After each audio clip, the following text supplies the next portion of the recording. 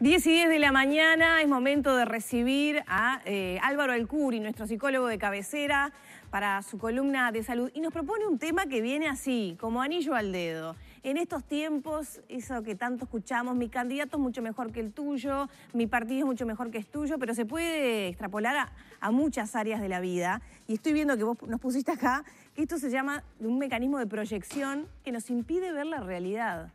Me encantó. Bueno, ¿De qué cómo se lo- trata a ver cómo lo explicamos. Capaz que las expectativas son muy elevadas con esto que pusimos para vender el espacio. Cuando se produce el, el famoso debate este que hubo hace poquito, a mí lo que me llamaba la atención es que había muchísimas opiniones que eran absolutamente subjetivas, que vos te dabas cuenta. A mí me gusta eh, todo lo que dice, todo lo que hace, cómo se peina o no se peina, un candidato que tiene pelo, el otro sí lo tiene, el color del traje, el color de la corbata.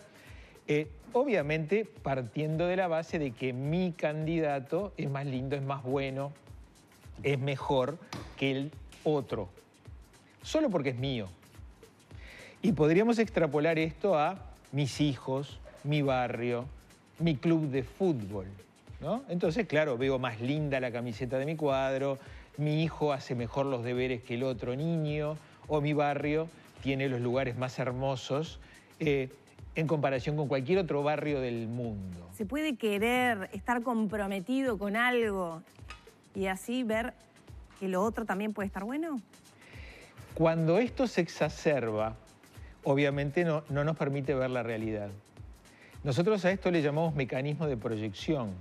¿Por qué proyección? Porque es como si pusiéramos una pantalla blanca, un telón blanco como el del cine, y proyectáramos una película sobre el telón.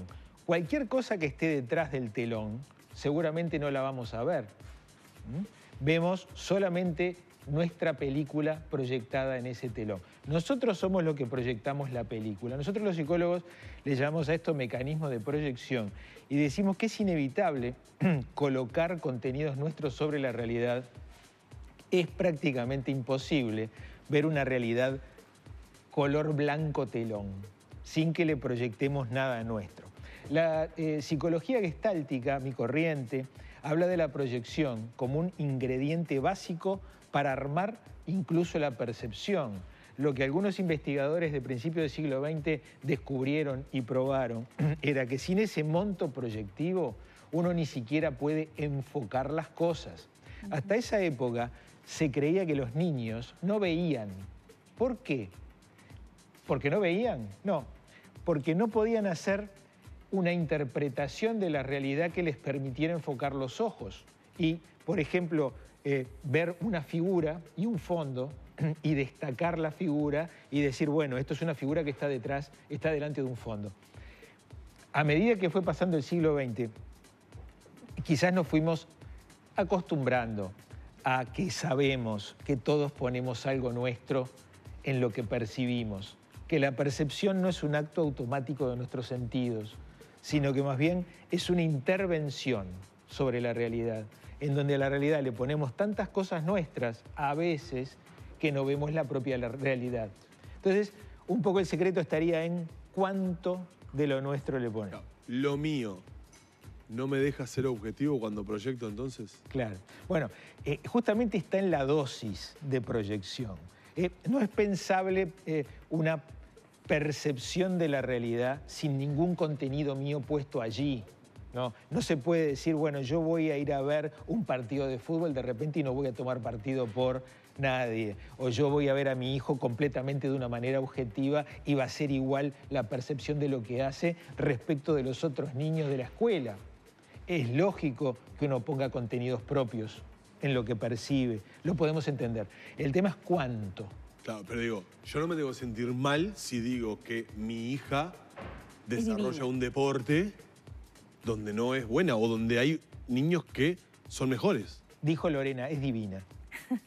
y chau. Esa es mi concepción de todo lo mío. Claro, bueno, ese es el mecanismo de proyección, diría, en una dosis razonable. Ahora, si te pasas un poco de rosca y te vas a la escuela a pelearte porque vos decís la están estafando a mi hija porque no le ponen la mejor nota de la clase y porque no es la banderada y por qué pusieron a otra, de repente te estás pasando de rosca con tus proyecciones positivas puestas sobre tu hijo. ¿Cómo nos damos cuenta de que capaz que estamos haciendo una proyección eh, exagerada de, alguna de nuestras preferencias, digamos? Cuando lo sacás del capullo.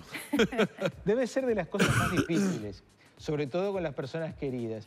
Ahora, cuanto más desequilibrados estamos, pasa un fenómeno eh, eh, que todos los demás a veces lo perciben menos la persona que lo hacen, que es pasar del amor al odio rápidamente.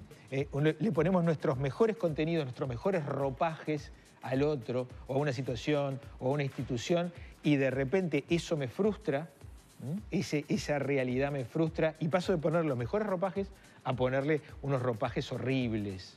¿eh? Entonces pasamos del amor al odio. Esta escuela era la más linda hasta que no nombraron abanderado a mi hijo o abanderada a mi hija, y ahora es la peor del mundo.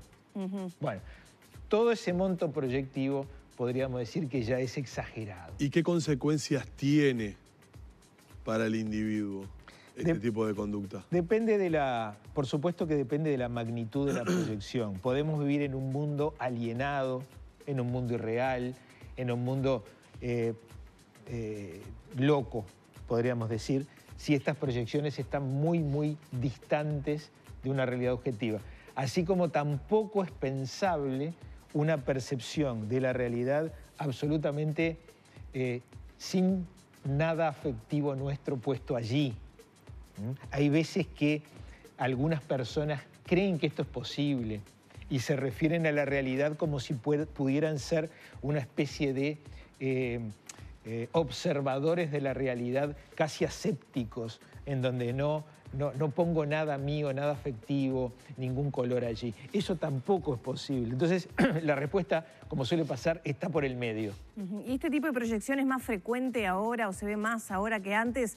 Porque desde producción me decía un apunte y era algo que yo estaba pensando cuando pusiste el ejemplo de la escuela, ¿no? De esta escuela es lo máximo hasta que mi hijo no es abanderado o lo que sea las agresiones a maestras, por ejemplo, que, lamentablemente dos por tres tenemos que informar. Sí, eh, yo diría que hay una especie de, cambio cultural en donde la proyección o la subjetividad, el sentimiento personal está como más alentado. Eh, ahora, ahora que, que, ocurría este debate político en las redes, había mucho contenido en las redes sobre qué opinaba cada uno me gusta la corbata, me gusta el escenario, las luces, como qué dice eh, cada candidato.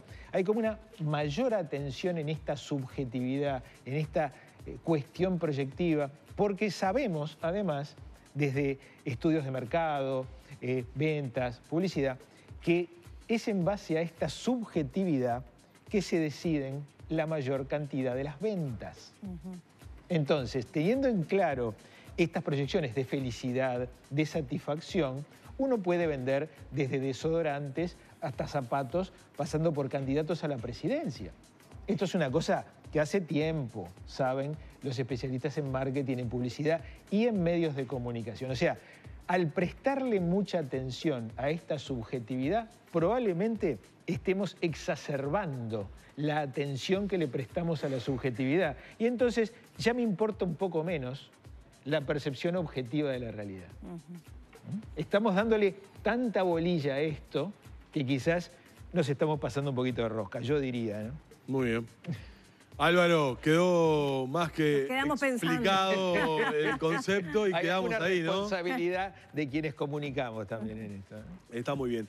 Gracias por habernos acompañado. ¿eh? A ustedes. La columna de Álvaro Alcuri, como eh, nos tiene habituado, que nos deja pensando por allí. Vamos a hacer una pausa y a la vuelta venimos para el cierre musical.